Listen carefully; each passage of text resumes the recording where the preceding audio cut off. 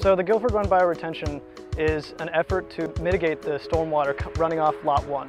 So the stormwater runs into Guilford Run bioretention into this garden here, and it has a chance to filter uh, naturally through the plants and through the soils. And so this, this cleans up the water before it gets into the Anacostia River, and it also prevents erosion and flash flooding in Guilford Run and the Anacostia River.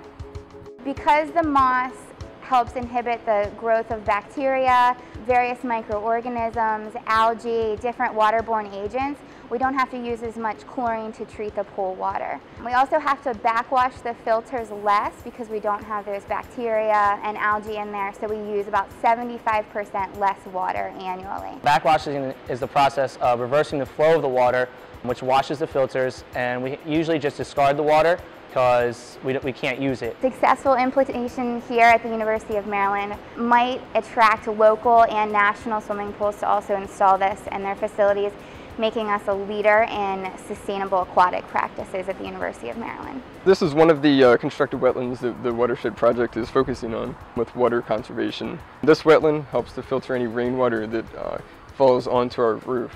This, this water is collected specifically from our solar panel uh, PV roof Water is stored in here and is uh, conditioned until it is needed for irrigation on site. We want it to be a big community space where people can come hang out, like students or faculty or the workers here at UMD. We want to have shows here um, where people can play music or do poetry. Um, we want it to be a multi-use space, basically, not just a place to grow food.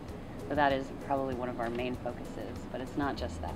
We spent a lot of time hauling a ton of dirt up here and now to see all this food growing, such abundance up here, um, it feels really amazing. Kind of providing for yourself without taking away from anyone else and uh, this way we, we're doing just that. We're getting vegetables and having this experience working in the earth but at the same time we're giving back, we're composting and showing everyone else what they're capable of doing on campus. The, the, the goals for the project are in this order. Uh, teach people about alternative energy generation, mostly students, but we're also developing a curriculum and a mobile unit to take out to local high schools and local grade schools and communities around the area.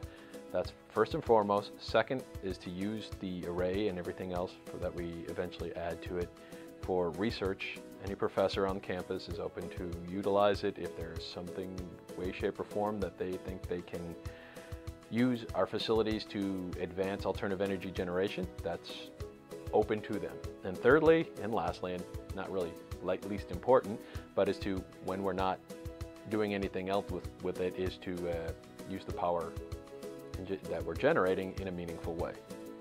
The vision for the garden is going to be a student teaching and community garden. Part of the mission is to raise awareness about sustainable agriculture, educate um, people in the community about food, how to use food, um, you know, getting in garden for exercise, promoting good environmental practices and uh, just kind of healthy practices in general. We're all very disconnected from our food, so therefore it has less value, but when you get out there and create it, there's sweat equity, and you also know what's going into it, and you're also eliminating all those miles that it travels to get to you. When it came down to it, everybody has been on board so far.